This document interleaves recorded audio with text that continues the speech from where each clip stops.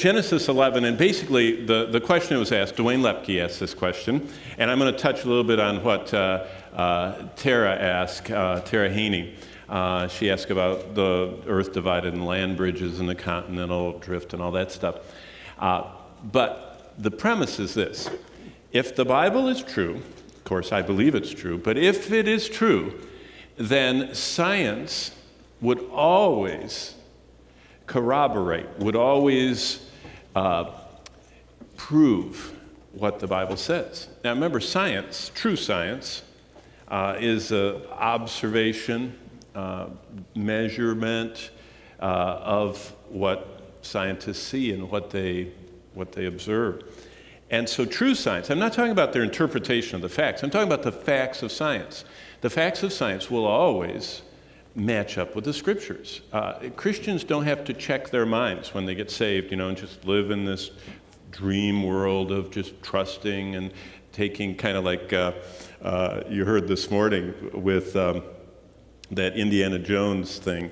I think he threw something on that before. I don't remember the movie. I don't watch movies over and over, but I think that Indiana Jones threw something before he stepped, but I don't remember how he did it. But you don't have to live that way with the Bible. You can know that, that longer, as long as time goes by, scientists will more and more bump into the truths that are in the Bible. So let me show you what I mean. Here's Dwayne's questions.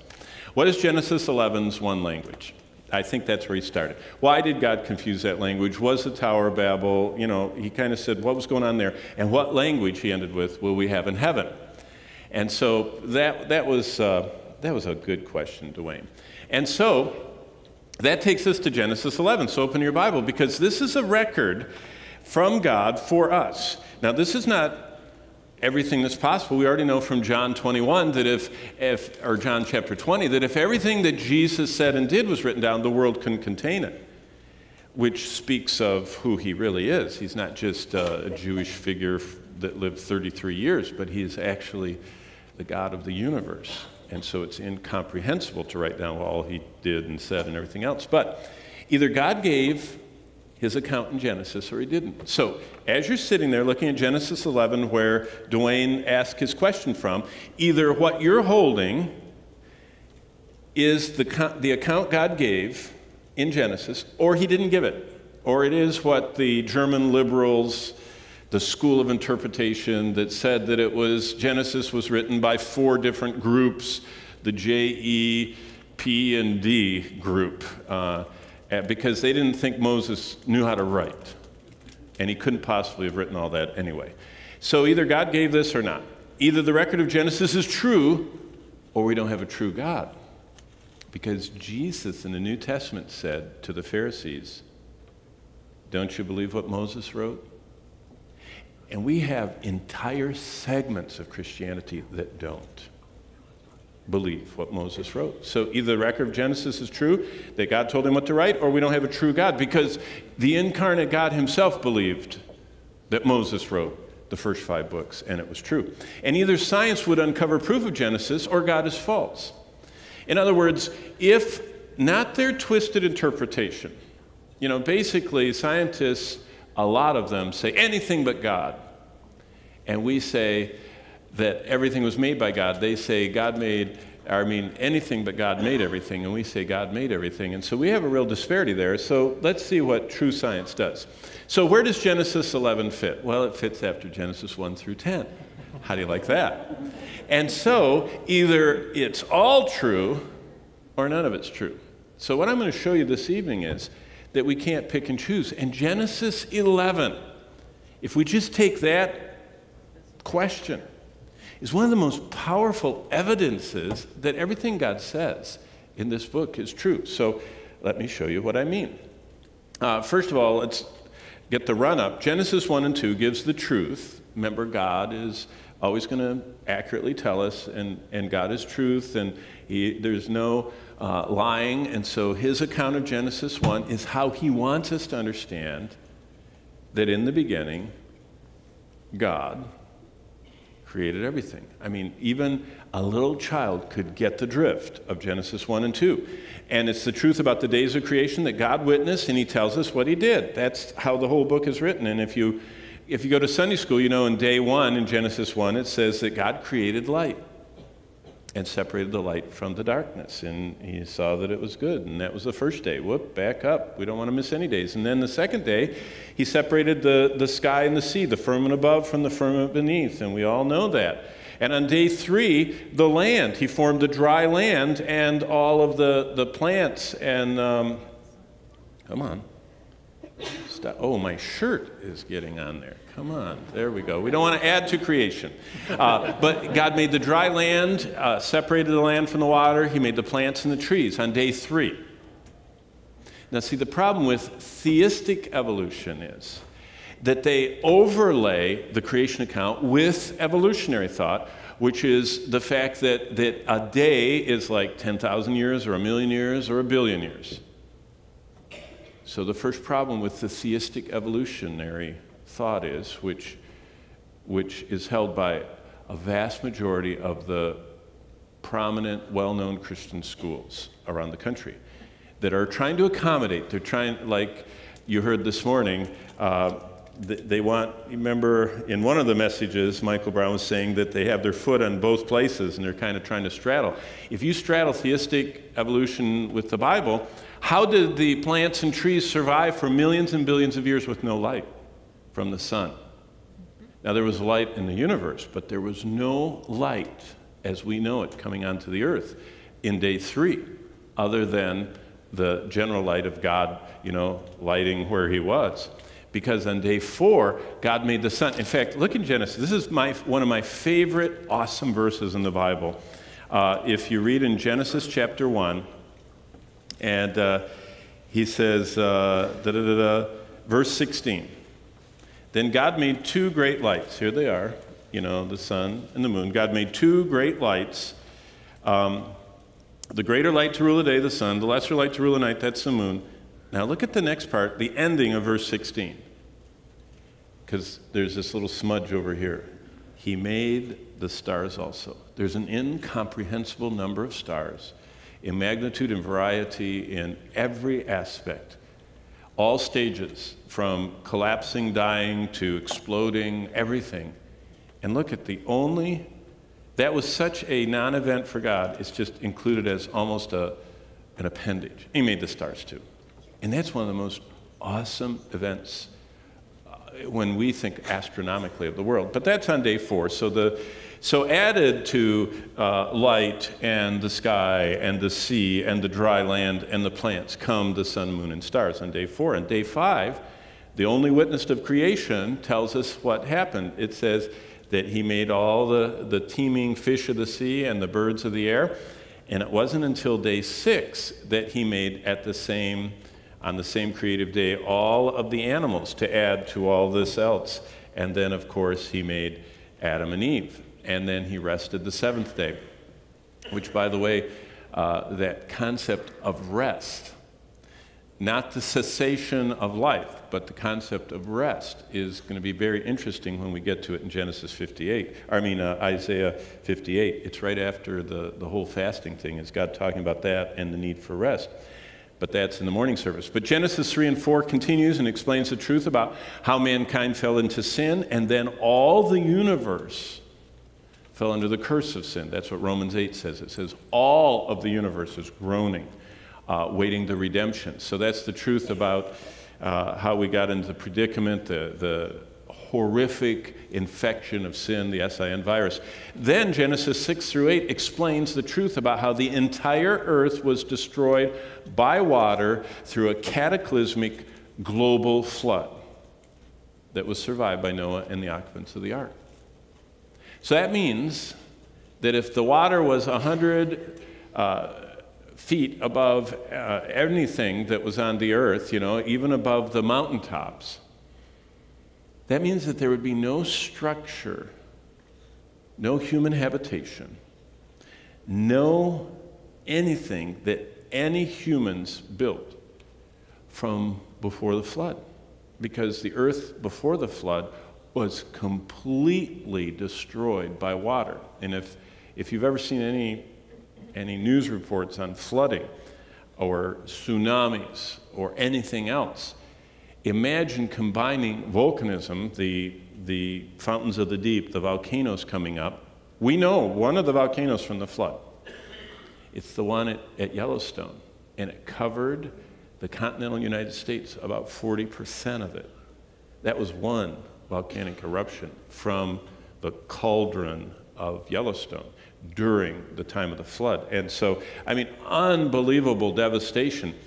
And so, everything that we see on earth right now, all of the plants, all of the animals, and all of the humans are from after the flood. So, that's another reason why we're all related. Not only are we all descendants from Adam, but all of us are descended from Noah and through one of his three sons. So, we're all cousins.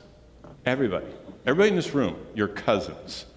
Uh, because you are the descendants of the three sons of Noah. And so am I. And so this, this is, uh, each of these has to be true for chapter 11 to be true because the same God wrote it all, witnessed it all, and tells us everything about it. But keeping on now to where we're getting. Genesis 11 is actually a part of a package. It's Genesis 9, 10, and 11. It explains the truth about how the entire earth was settled by the descendants of the three sons of Noah after mankind's language was confounded by God at Babel. Now, how do you pronounce that? Well, did you know the dictionaries have two different pronunciations? It's either B A H B E L or B A Y B E L. So it's either Babel or Babel. It doesn't matter how you pronounce it, but it does matter whether you believe it. So let's look at what happened because um, Genesis 10, by the way, if, if you go back from chapter 11, it's very fascinating that God tells us. Um, the genealogies of all these descendants of Noah in chapter 10, and here they all are. There were three sons of, of Noah uh, Japheth, uh, Shem, and Ham. And they each have these, these incredible listings of who their descendants are. And you say, does that even matter? It's really interesting. If the flood is when God said it was, how long ago was it? What are the oldest living creatures, uh, substances? What, what's the oldest life on Earth right now? Well, there are two groups. They're, they're basically plants, trees, actually. The sequoias are 3,500, 4,000 years old, some of them.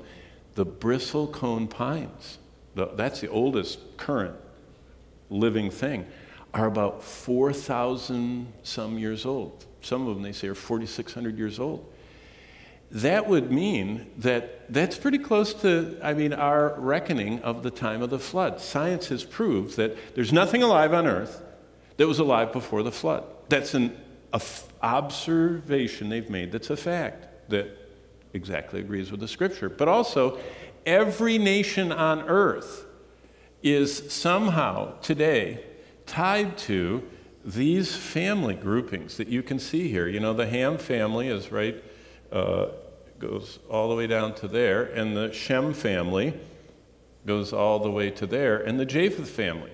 And it's fascinating uh, if you study history. Uh, in fact, uh, one interesting, this is an early Irish genealogy. Uh, they, all of these, you know, the, the Irish clans and everything, if you look at them, they actually say that they come through Magog and down and actually come down this way. This is not biblical. This early Irish genealogy is actually, if you go to the Royal Archives in Ireland, you'll find the biblical names. Uh, uh, well, some of the biblical names. These aren't in the Bible. These are from modern history, post Mosaic. But it's interesting. And you can do this. In fact, there's a, a, a book called. Um, it's by uh, Bill Cooper. It's on Amazon. It's really interesting. Um, those of you with your phones can even look it up. And it's about, uh, it's something about the Table of Nations and uh, what happened after Genesis 10. And he actually spent, this guy spent his entire career, 30 years, uh, grousing around the royal archives of all the European nations. And he said there is not one disagreement with the biblical table of nations. So that's, that's a fascinating study, but it's not what we're doing tonight. So basically, the record of Genesis is this the more we look, the more we see everything in Genesis is reflected in all the scientific observations and facts on earth. Now, we're just going to look at Genesis 11 tonight. But believers agree with all the facts of science, just not the interpretations of those who don't want a true creator God, which is so interesting.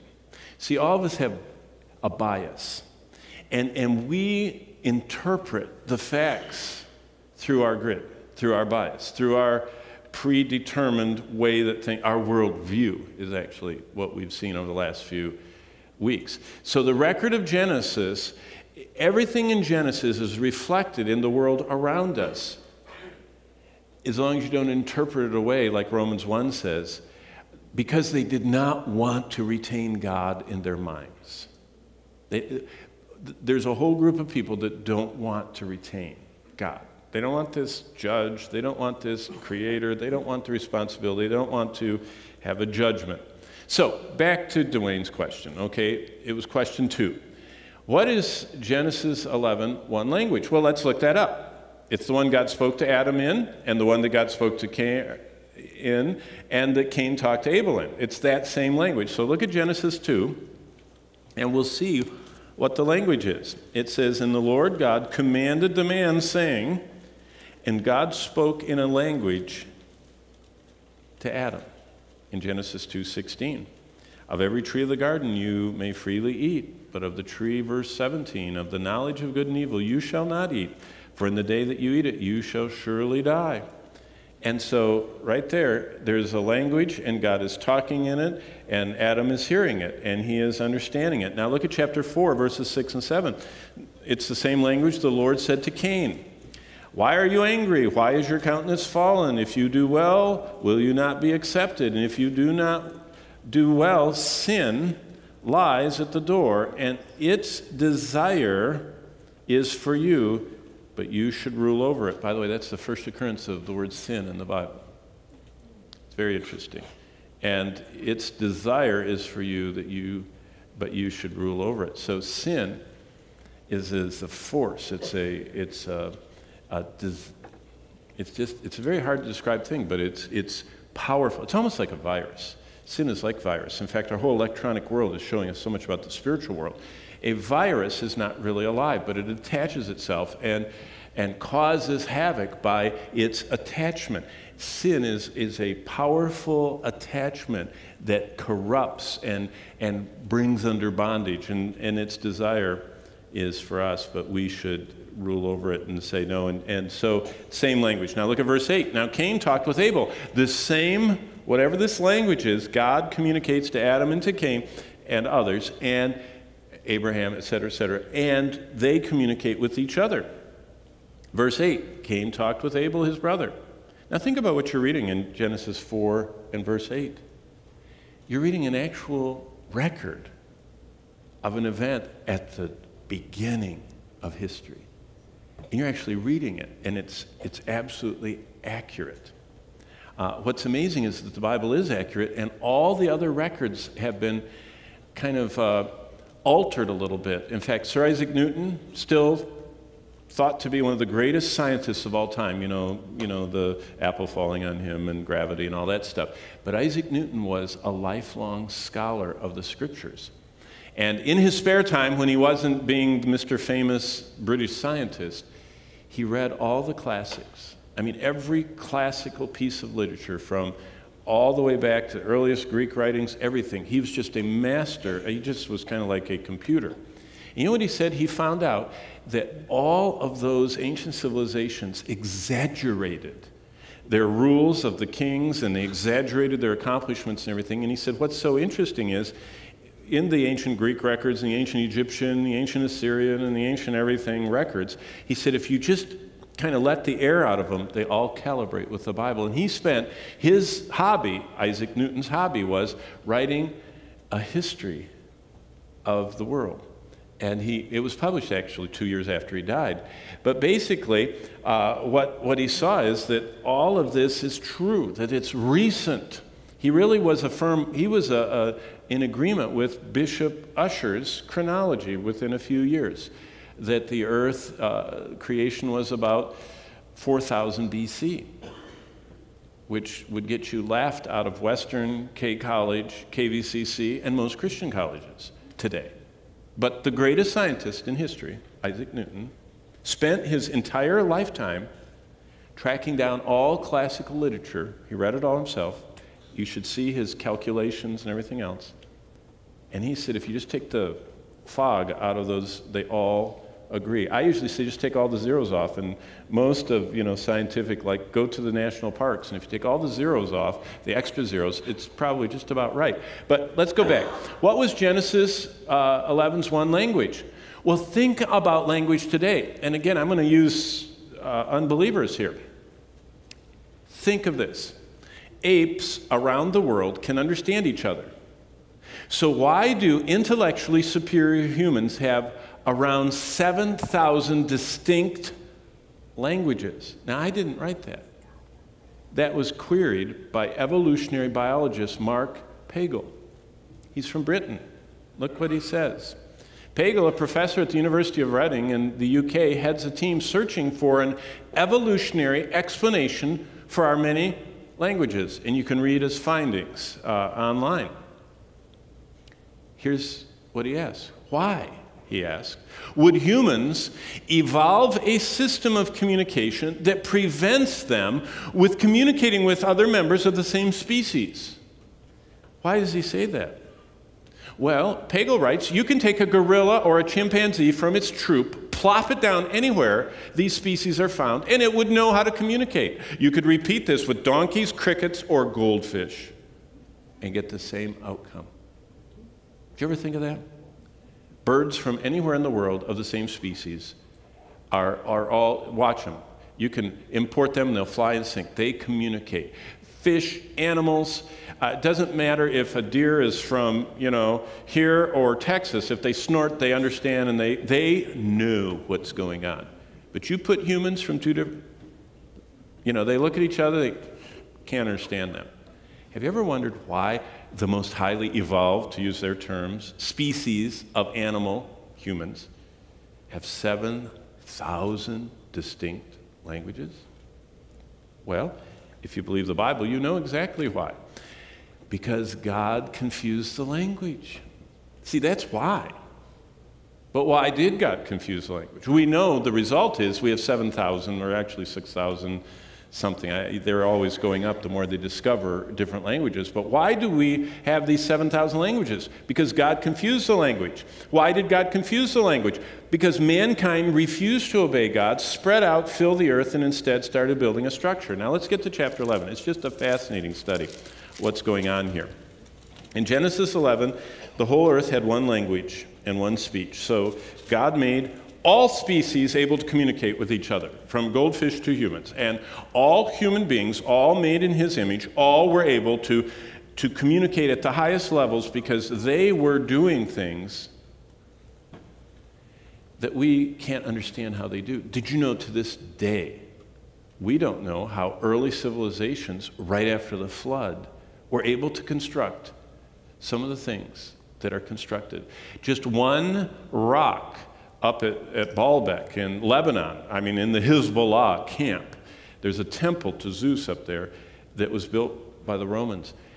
And there is not a hydraulic mechanical machine on earth today that can move those rocks. Yet they're, they're beautifully in the Temple of Baalbek. They're, they're up there. And we don't know how they did that. I mean, how did they get Stonehenge so perfectly lined up? I was taking a group into a tomb in Egypt once. Bonnie and I were. Uh, I wouldn't suggest it now, but uh, we rode a houseboat down the Nile. It was fun back in the old days. We're really old when, when it wasn't dangerous. And, and we were down there, and I was, I was lecturing and teaching about Moses and everything. And all of a sudden, we got into one tomb, and all these people were laying in the sarcophagus, and they were humming and they were hugging all these Egyptian stones. And what it was is, that was the day, one day a year, when the sun at a certain point, uh, when it rose, would shine a shaft of light right into the center of that tomb. And there in the middle of Luxor, in the middle of the desert, those engineers engineered this incredible I mean, they had calculated and knew exactly how to get the sun to shine on that sarcophagus once a year. And all these New Age people were trying to get the vibes from the God of nature or something. There is still knowledge we don't understand that's, that's part of this incredible overflow of when all of humanity, right after creation, was so endowed by God with so much knowledge. So they had one language. And it came to pass, verse 2 as they journeyed from the east, they found a plain in the land of Shinar. What, journeyed from the east? What are we journeying from the east? They're coming down from the region around Mount Ararat. You see, the, the Bible is explaining that God created everyone, uh, I mean, created Adam and Eve and their descendants, and then He took from that Noah and his family, put them on the ark, and the ark settled on Mount Ararat part of the flood was the upthrust, the continental, the tectonic, the moving of the plates, and all the, the earthquakes, and everything settled out so that it looks like it looks now on the, on the globe. And then the flood was slowly, the waters receded, and the ark landed on Mount Ararat. And so then humans began living in that area, and so they start moving downward. In fact, they move downward. Um, well, is this a real event? And, uh, but let me show you. Oh, I'm going to get to my map, but I forgot this. There's two scientific facts. Remember, I told you that the Bible would agree, or science would agree with the Bible? It's amazing that just like God says in Genesis, there are structures like the one we're going to talk about in this event on nearly every continent. Have you ever thought about that? Have you ever thought about the similarities between the Cahokia Mounds, you know, down in, on the way to St. Louis in, in, uh, in southern Illinois? Those things with the Aztec, the Inca, and the Mayan, Machu Picchu in South America, the Egyptian. Have you ever thought of the amazing similarities, the Nubian uh, incredible pyramids? There is a structure that's at the Tower of Babel. The tower doesn't mean leaning tower of pizza, it, it was a stepped structure. The word actually means this stepped structure, a ziggurat. And these structures are amazingly similar on every continent, nearly every continent. That, and of course, we haven't covered every, moved every bit of dirt everywhere to find them. And that there are so many languages, almost 7,000 that can't be traced. Why would that be? Well, because Oh, and I, I clipped this out of the Wall Street Journal too. The mother of all languages. The world's 6,000, that was in 2011. See, they didn't know we're up to almost 7,000. But the world's 6,000 or so modern languages may have all descended from a single ancestral tongue spoken by, now see, they get it all mixed up. Just knock off some zeros. Uh, between about 5,000 and 7,000 years ago. See, just, just lower, take some zeros off. Tower of Babel was actually about 4,000 years ago, 40 some hundred years ago. The findings published Thursday in the Journal of Science, and I'll show you some of those. It, it talks about this fact that there seems to be this overspread. Uh, of course, Dr. Leakey localized it down here. You remember Dr. Leakey? You know, in the National Geographic, he would find a tooth and construct this amazing looking person out of a tooth. No, honestly, I used to read the National Geographic, and you'd look at this entire thing and you'd find one bone fragment that he had constructed an entire body out of, but it doesn't matter. Uh, people were paying him, and he was excavating down here in the Olduvai Gorge in uh, Africa. Actually, everybody spread out from up here. And so, you know, uh, how long ago do you say it was? 3.6. So he was just off a little bit, Dr. Leakey was, because they came out of Mount Ararat and they started spreading out and went down to the furthest reaches. Look at this. This is now Tara uh, Haney's question. How did they do that? After the flood, during the Ice Age, there were land bridges. You could get to every continent because of that, or take little boat trips to, uh, uh, you know, to get down to Australia if, if you missed the land bridge. But basically, they have seen human habitation or occupation, or they call it migration, came outward from a central place. They're off a little bit. They say it was in Africa. We say we know where it was because God witnessed it and they didn't. But it, it, it really, if you look at this, and especially if you look at this, this is out of a Sunday school book, The Tower of Babel.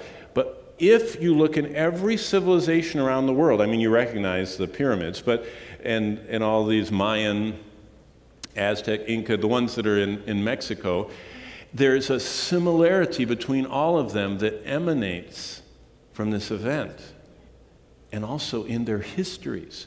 If you look in the ancient histories of the civilizations of the world, most of them have some type of a flood account. Now, it's kind of screwed up and not according to the Bible, but they exaggerate and fluff and put their characters in it and everything else. Even the Chinese language has an ark with eight people in it.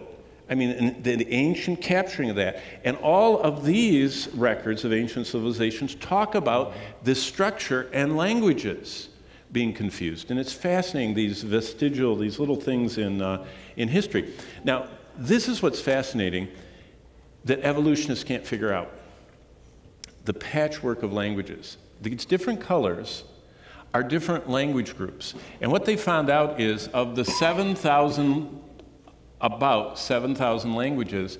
So far, up through the last few uh, months, they have found all 7,000 of them reduced down to 94 distinct branches on the tree of languages, the, the ethnological language trees. And, and I have a picture of one in here, and they're really interesting to look at.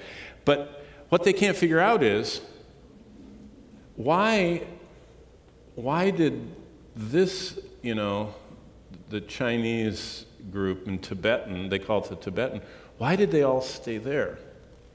And why did these stay up here? Uh, this is a real unique group up here. It's, it's related to little touches around other parts of the world, but it's very unique and only over here in this part of the Scandinavian and the top up here. Why are they like that? And why is this black one you know, thrown all over the place. And the purple one there, but the green, this Indo European, they call it PIE, Proto Indo European language. Why is that one so spread out and intermixed? And, and basically, secular theories fail to explain the many distinct language families throughout the world, but the biblical account at the Tower of Babel explains. And every, all the data they're finding fits with what the Bible says. Here's the, this is just one example. I mean, if, if uh, you are studying ethnology and linguistics, you'll see the old world language families. Here's the PIE, the Proto Indo European, and it goes into the Indo and into the European. And in the Indo, it gets into the Indic, and it goes up, you know, Bengali, Hindi, Punjabi, Persian, and the Iranian is one separate little branch. And all together, and, and here's, they basically say there's two basic big parts the Uralic languages, which are the Scandinavian and these Inuits and all the, or whatever, the top of Russia, those uh, uh, people that live up there in the Arctic region. Those two are the Uralic, and then the Proto Indo European is everybody else. And what's amazing is that they look at this and they can only reduce the 7,000 down to 94 branches, all these branches all over here. Did you know if they keep working, they will probably get to the 70 that are in Genesis 10? Because God already told us that there were 70 family groups that He dispersed to the ends of the earth. So they're getting closer. They're not quite there yet, but they're getting closer with understanding what the scriptures say that God said that He sent them out. Where did He send them out? Uh, this is the possible location uh, of Babel, right here. Between the Tigris and uh, the Euphrates, in the plain of Shinar, uh, south east of, you know, up here uh, up there would have been higher off the screen, would have been Mount Ararat, and they migrated to the east and liked this flat plain. Now, see, some people say that the tower they were building was to escape the flood. They didn't want to go in a flood again. If you didn't want to escape a flood, you would not have gone in flat ground between two rivers. You know, I mean, you would have stayed on Mount Ararat. So uh, they, they actually were not building the Tower of Babel to escape a flood. They were building it as a rebellion against God, which goes back to that's where we were in the text. And it came to pass as they journeyed from the east, they found that where they are, the plain of Shinar, and they dwelt there. And they said to one another, Come, I'm in Genesis 11:3. Let us make bricks and bake them thoroughly. They had brick for stone, and they had asphalt for mortar. Asphalt. Asphalt. What? Every time they poke a pipe in the ground over there in the plain of Shinar, what do they find? Oil. Yeah, I mean, this is over there in that spot. And they, they get this asphalt and uh, use it. They're sticking it together with this black um, substance. Uh, and they said, Come, let us build ourselves, verse 4, a city and a tower whose top is to the heaven, is in the heavens. And let us make a name for ourselves, lest we be scattered abroad over the face of the whole earth. Now, what was it that, that God said? Be fruitful and multiply and fill the earth. God wanted humanity to overspread the whole earth and to be fruitful and multiply. And by the way, He created, God created into plants the most incredible, explosive life. Did you know one sunflower? Next time you see a sunflower, if you cut the head off that sunflower and planted every seed and harvested in seven successive years, you could overspread the whole earth with just one sunflower's. Do the math sometime. Of multiply exponentially what God has done just in a sunflower. Now imagine if every egg that every fish lays, if all of them in one season survived and didn't get eaten by all the other you know, predators, and every one of them had, you would fill the ocean after just about 10 years with one exponential growth. The, the way God made the explosive power of life on earth, there was going to be enough food for everybody if they filled the earth. Of course, there's enough food right now. If it wasn't for greed and some uh, religious, did you know the cows eat more grain in India than you know, almost than we use in America. I mean, if there weren't some of these strange ideas, there is enough food for everybody in the whole earth, but it's greed and not agreeing with God. But I'm, uh, I'm not on Dwayne's question. Come on, let's go. We'll be scattered abroad, verse 4, over the whole earth. And the Lord came down to see the city. Verse 5 And the tower they built, and the Lord said, Indeed, this people are one, and they all have one language, and this is what they began to do. Now, nothing that they propose to do will be withheld from them. Come, let us go down and let and, and there confuse their language that they may not understand one another's speech. So the Lord scattered them abroad from there over the face of the earth, and they ceased building. Doesn't say he destroyed the tower. In fact, some of the stuff that they dig up over there, uh, they've found a huge base of, uh, of some structure over in, in the Shinar area.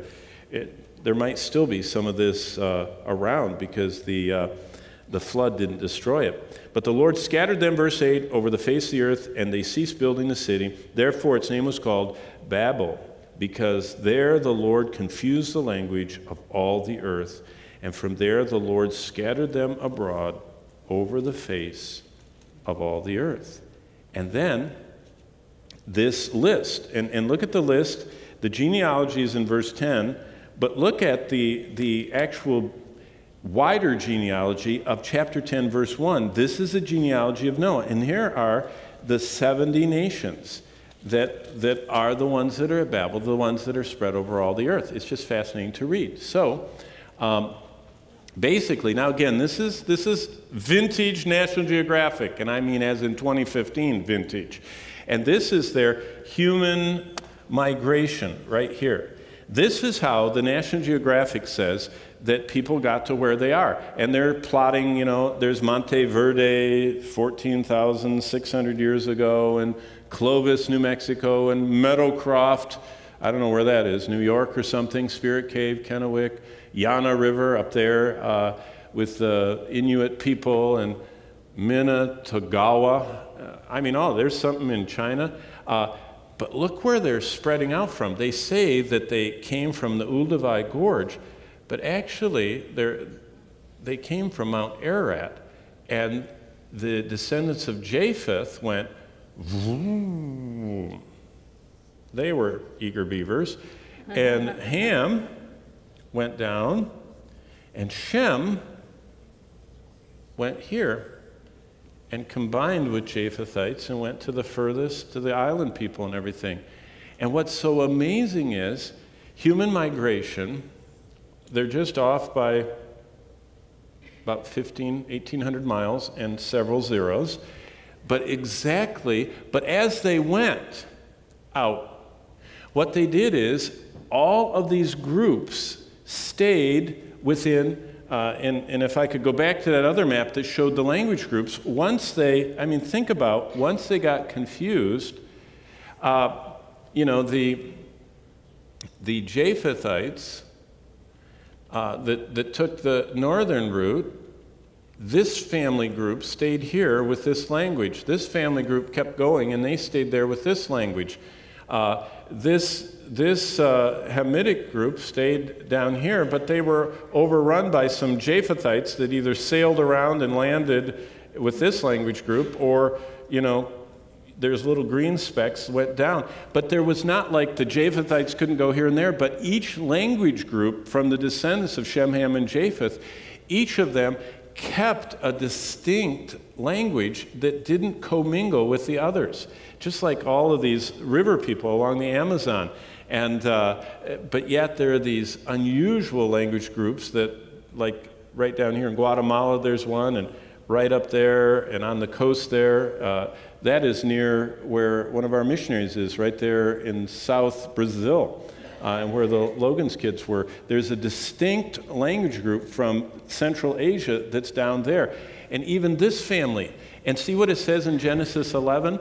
It says, Therefore, uh, verse 8, the Lord scattered them from there over the face of the earth. Verse 9, and the Lord scattered them abroad over the face of all the earth. And all of that spread out from Mount Ararat and from the plain of Shinar and went to every corner of the earth. And they went on that land bridge and came in here and settled and went all the way down here. And all these, these 94 language groups are actually the 70 from the table of nations, from the family of nations that, that went. Okay, so let's keep going or we'll never get finished tonight because it's 7.04. So whenever you see pyramids, whether it's the, the, the ones in America, the ones in Central America, the ones in South America, the ones that, that are in the Middle East, that are in Africa, uh, even Angkor Wat, although that's only 900 years old, this whole idea this tower, which all of these, that's really a blurry picture of the pyramids, but these things are engineered astrologically. They're tied to the stars. And there's such a high degree of even, even the sun coming in uh, at the, the different solstice and equinox and everything else, they're exactly scientifically engineered with a astrological. That means that, that there's this worship of the sun and the moon and the stars. That all of these, like the Mayans, the, the Aztecs, that, that were trying to appease the sun or the sun God instead of the true God. See, what, what happened is at the Tower of Babel, they were trying to have, if you notice, that they want a name. They want to make a name for themselves.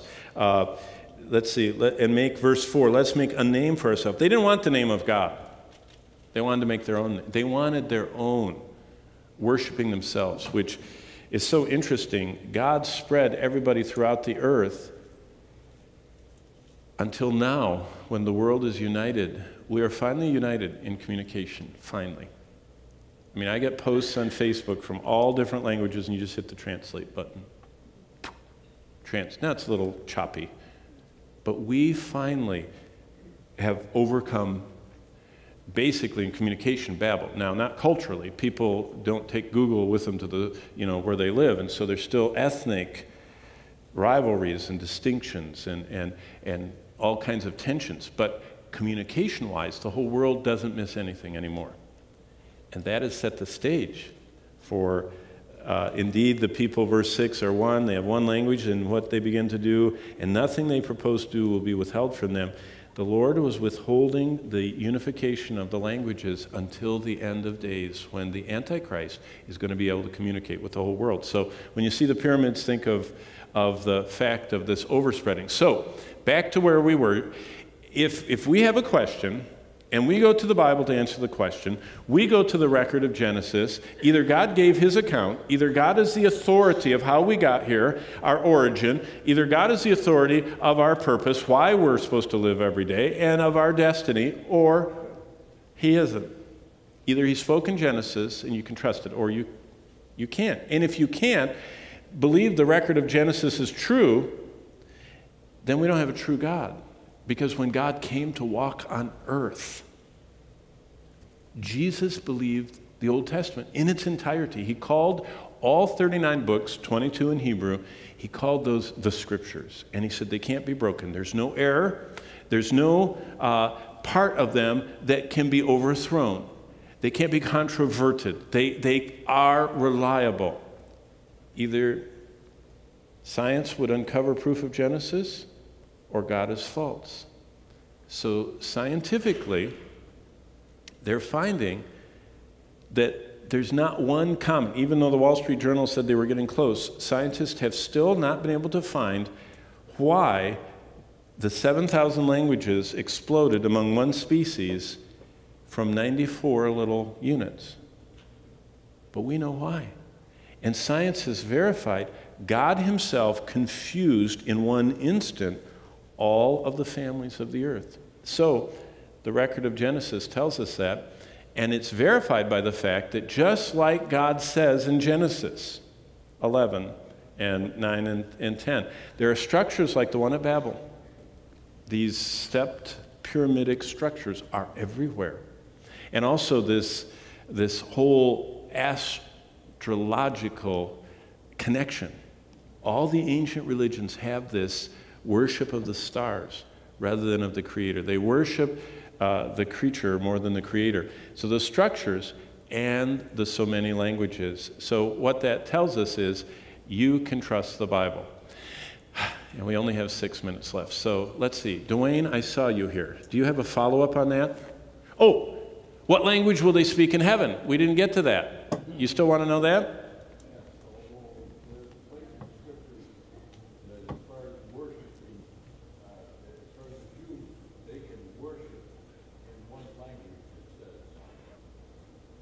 That with one heart and one voice and one language, yes.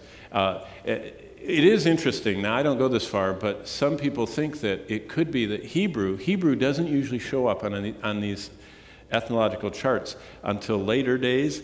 Uh, but it's interesting that it's, it's very possible. In fact, when I was in seminary, they said we're all going to speak Hebrew in heaven, uh, which is probably true. But what language are we speaking in heaven? The same language that God spoke to Adam and Eve. See, God has, has chosen, and, and He hasn't told us what it is, but He's communicated to us, uh, to Adam and Eve, and to Enoch, and to Noah, and all the way through. And He talked to Abraham, and He's going to communicate with us in heaven. And what's interesting is, in heaven, we're all back to speaking one language. And so that we, with one heart and one voice, can magnify God. So he repairs the disunity, the confusion that, that he instituted. In heaven, we'll only have one language. Because if you notice when you get to Revelation 4, everyone is chanting the same words. And it's the same words that the cherubim are saying. And so God corrects all of our language problems in heaven, and He unites us there around the throne. But here on earth, until computers, we didn't have united languages. But Dwayne, I'm so glad you asked such a complicated question. But you have a follow up. Yes.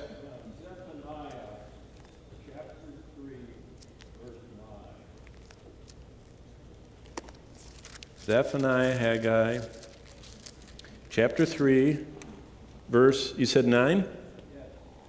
For then I will restore to the peoples a pure language that they may call on the name of the Lord to serve him with one accord. Yeah, that's in the millennium. Yeah, in the millennium. Yep. Yeah, in an interview, he said Zephaniah 3 9. Uh, well, we do have four minutes. Okay. And by the way, Pastor Brown went way over in second service. I always feel bad until he was just plowing along. And I thought, wow, I can do that too. But um, just a thought for you to think about in, in the last four minutes, and it's this. What Dwayne just said in Zephaniah 3 9 is a reminder that God has a future plan to rule the earth. And it's talked about in 20% of the Old Testament's prophecies are about this future time. And therefore, it's really dangerous to do this, to, to get rid of those future words. God says He has a future plan for Israel. That's who Zephaniah is talking to. He's saying, Israel, in the future, I'm going to have a pure language. When is that? That is when in Ezekiel, that huge book of Ezekiel, chapter 40 to 48, God has Israel rebuild a temple in Jerusalem for the whole world to come to. And what we have a danger for today is that in the Old Testament, God chose a group of people to reveal himself to named Israel, and there's a group of theologians that beginning in the fourth century, Augustine said Israel has become the church. And circumcision in the Old Testament has become baptism. And here's another one watch out. The Sabbath day, which was given as a sign to Israel, has become guess what? Sunday. And let me tell you something Sunday is not the Sabbath day.